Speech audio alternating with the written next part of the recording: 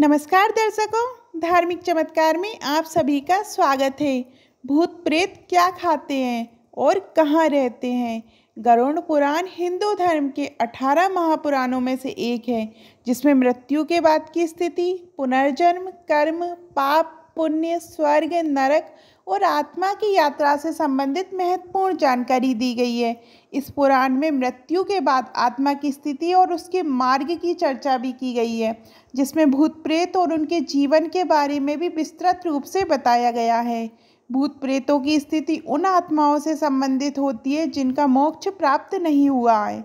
या जो किसी कारणवश संसार में भटक रही हैं भूत प्रेत बे आत्माएँ हैं जिनकी मृत्यु अप्राकृतिक रूप से हुई होती है, जैसे अचानक दुर्घटना, हत्या, आत्महत्या या जिन्हें किसी विशेष समय पर क्रियाकर्म नहीं मिला होता।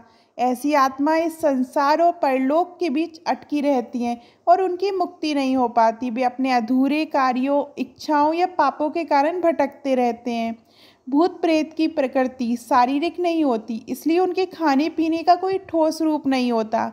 जैसे कि इंसानों के लिए होता है, लेकिन फिर भी गरुण पुराण और अन्य धर्म ग्रंथों में कुछ ऐसी मान्यताएँ हैं, जो बताती हैं कि भूत प्रेतों की भूख और तृष्णा किस प्रकार संतुष्ट होती है।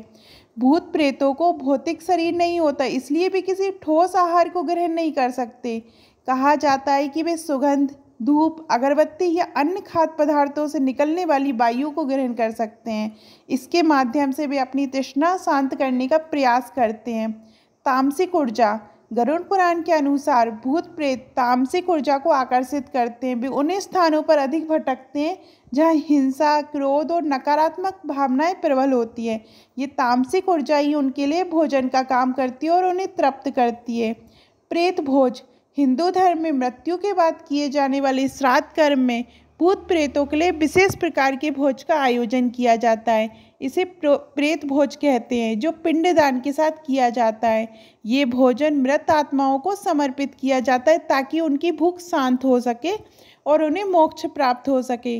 अधूरी इच्छाएँ, भूत प्रेतों की भूख केवल शारीरिक आहार की नहीं होती, बल्कि उनकी अधूरी इच्छाओं और भावनात्मक तृष्णा को भी दर्शाती है। उनकी इच्छाएँ और लालच अधूरे रह जाते हैं और वे उन्हीं इच्छाओं की पूर्ति के लिए भटकते रहते हैं। गरुण पुराण और अन्य शास्त्रों के अनुसार भूत प्रेतों का कोई स्थायी निवास नहीं होता है। वे अपनी स्थिति, पापों और अधूरी इच्छाओं के आधार पर विभिन्न स्थानों पर भटक सकते हैं। कुछ प्रमुख स्थान जहाँ भूत प्रेतों के निवास की संभावना अधिक होती है, जैसे कि शमशान भूमि। भूत प्रेतों का सबसे प्रमुख निवास शमशान भूमि मानी जाती है। शमशान में मृत्यु के बाद की शुद्धि क्रियाएँ की जाती है और कहा जाता है कि वे आत्माएँ जो इस संसार में अधूरी रह गई होती हैं, शमशान में भटकती रहती हैं। इसलिए कोई तांत्रिक साधनाएँ और मंत्र शमशान में ही किए जाते हैं। सूने और बीरान स्थान। गरुड़ पुराण में बताया गया है कि भूत, प्रेत बीरान सूने और अंधेरे स्थान पर निवास करते हैं।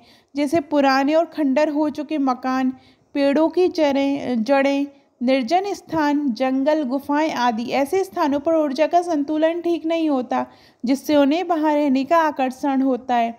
भूत प्रेत उन स्थानों पर भी निवास करते हैं जहाँ अत्यधिक पाप और अधर्म की प्रवृत्तियाँ होती हैं, जैसे कि हत्या, हिंसा और नकारात्मकता से भरे स्थान। उनका निवास उन स्थानों पर भी हो सकता है जहाँ तामसिक और अधार्मिक कार्य होते हैं। कुछ आत्माएँ जो अपने परिवार के साथ अधिक जुड़ी होती हैं, वे अपनी मृत्यु के बाद भी घर के आसपास ही भटकती हैं। ऐसी आत्माएँ अपने परिवार के सदस्यों से किसी प्रकार का संदेश देने या अपनी इच्छाओं को पूरा करने की कोशिश करती हैं। वे अपने परिजनों को और आकर्षित हो सकती हैं, खासकर तब जब उनका अंतिम संस्कार विधिवत नहीं हुआ हो। कई बार आत्माएँ उन व्यक्तियों के साथ जुड़ी रहती हैं जिनसे वे जीवन काल में भावनात्मक रूप से जुड़ी होती हैं। ऐसी आत्माएँ उन स्थानों पर अधिकतर रहती हैं जहाँ वे अपने प्रियजनों के साथ समय बिताती थीं। उनके जाने के बाद भी, उनके जाने के बाद भी वे उन जगहों से दूरी नहीं बना पाती और वहीं भटकती रहती हैं। गरुण पुराण में भूत प्रेतों से मुक्ति के विभिन्न उपाय भी बताए गए हैं। इनके अनुसार पिंडदान पिंडदान, श्राद्ध कर्म और अन्य धार्मिक अनुष्ठान भूत प्रेतों को शांति और मोक्ष दिलाने में सहायक होते हैं। जैसे पिंडदान और श्राद्ध, पिंडदान एक महत्वपूर्ण धार्मिक क्रिया है जिसमें मृत आत्माओं को अर्पित करने के लिए भोजन, जल और अन्य सामग्री दी जाती है। इससे आत्मा को तृप्ति मिलती है और वह अपने अगले जन्म के लिए या मोक्ष के लिए आगे बढ़ सकती हैं।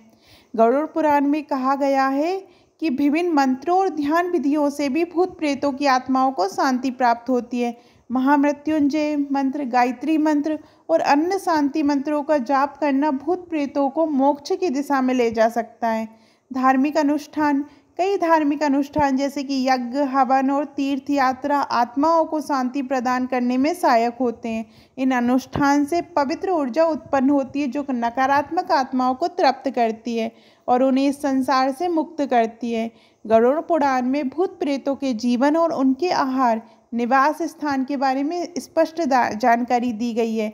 ये पुराण हमें सिखाता है कि आत्माओं की स्थिति और उनके कर्मों के परिणाम स्वरूप वे कैसे विभिन्न अवस्थाओं में होते हैं।